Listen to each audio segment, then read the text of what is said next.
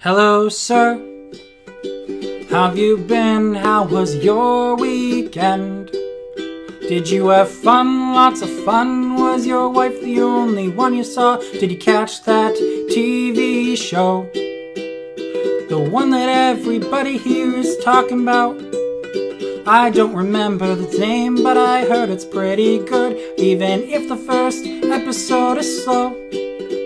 Did you hear about Penny and the money that she lost buying an overpriced strainer that she saw at 2 a.m. on the Home Shopping Network?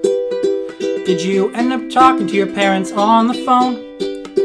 Did you find some time to sit and be alone?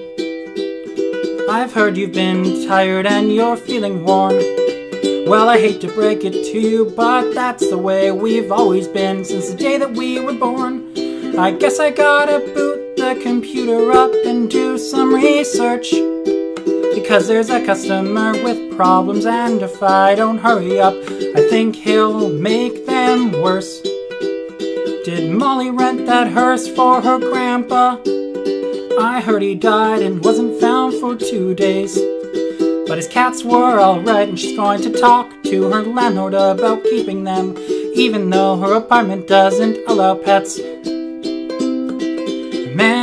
Really is such a Monday for a Tuesday.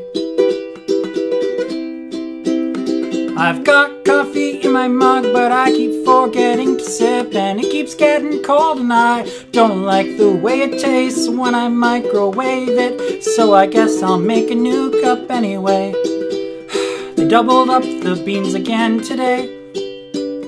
I like strong coffee, but man, this takes the cake. You gotta chew it if you want to drink a thing. So I guess I'm making a new pot and I bought a French press, but I do not have the time to boil water and wait for it to steep. I've gotta get on my PC and be ready for the phones because in eight hours I really need to make my way home. I should finish up my resume, but I don't have the energy and it's just too much work to think about the things I do and did. Maybe on the weekend I'll get to it if I don't have other plans. I should ask the wife if we're still seeing Dan.